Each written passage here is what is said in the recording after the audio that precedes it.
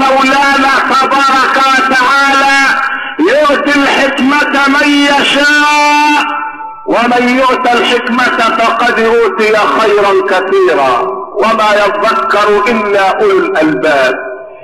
إنما أقول هذا الكلام لأن الظاهرة التي ألاحظها في هذه الأيام الظاهرة التي بين شبابنا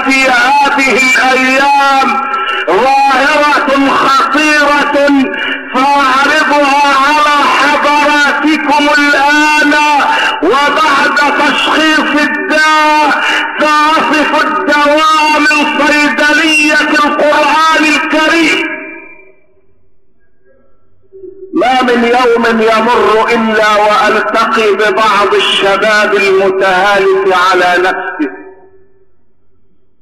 يجلس جلسة القط الوديع محطم النفس.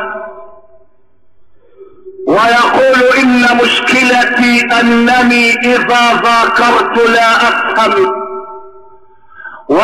وعندما أحاول أن أذاكر أشعر بصدود عن الكتاب والاطلاع فيه. مشكلة من المشاكل التي فشت بين شبابنا. وأمهات يسألن هذا السؤال إن ابني كان ترتيبه متقدما في السنين الماضية ولكنه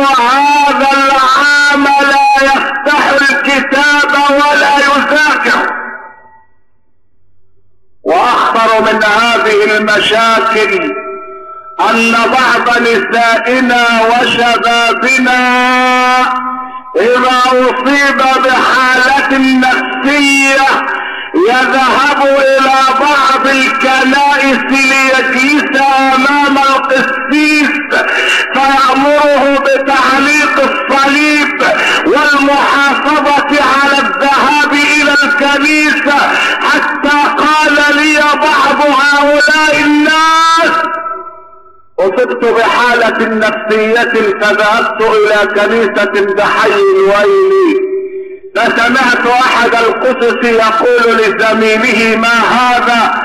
قال له إنه مسلم. جاء لنعالجه فقال له زميله نحن لا نريد من المسلمين أن يدخلوا في كنائسنا حتى لا ينجسوها. يا مسلمون اتقوا الله. اتقوا الله يا مسلمون. اتقوا الله فقد كفى ما كان. اتقوا الله فقد طال بنا زمن العصيان. اتقوا الله فحالنا لا يرضى به الواحد الديان. إذا أصيب الشاب بحالة نفسية أو عصبية وذهب إلى عيادة من عيادات علم النفس قال له الطبيب النفساني سين واحد هل أنت تصلي؟ يقول نعم. يقول له أنت معقد والذي عقدك هو التدين.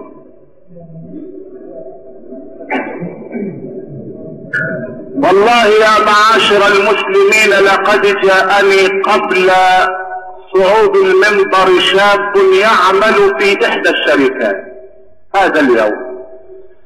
وقال لي بالحرف الواحد إنني أصلي وألتحي أطلق لحيتي. فجاء نائب رئيس مجلس الإدارة في هذه الشركة وأنظره أعطاه انذارا لمدة يومين إذا لم يحلق ذقنه ويترك الصلاة فسوف يكون مصيره الفصل. إن هذا الكلام لا أبالغ فيه حرفا واحدا. إذا لم يترك الصلاة ويحلق ذقنه فأمامه إنذار لمدة يومين إنذار انظار من السيد نائب رئيس مجلس إدارة إحدى الشركات. انظار لمدة يومين لماذا؟ إذا لم تنسحب إسرائيل من المضايق. في مدة يومين فسوف نشن الحرب.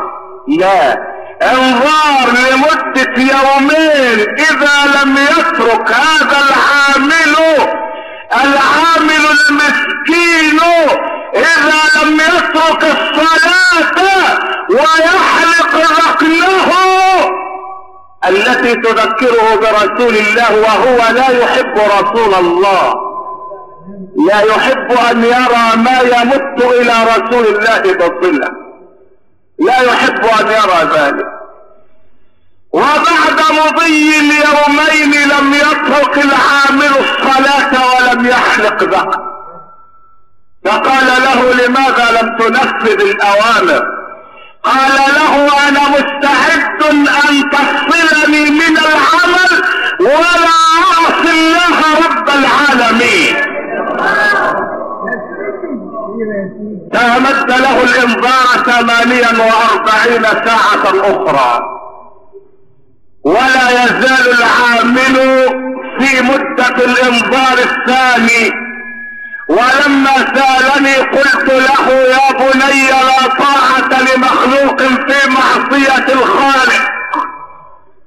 لكن الله يا مصر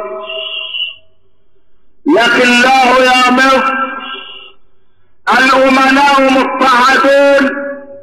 والمنافقون معززون مكرمون. لكن الله يا مصر المخلصون غرباء.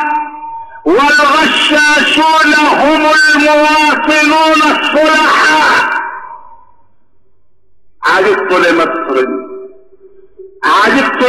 لمصر تعظم ليس حقه وتفخر بالسمو ويحق يا مصر. ويحق يا مصر. سلام على الدنيا. سلام على الورى. إذا ارتفع الوصول وانخفض النسر. لك الله يا مصر.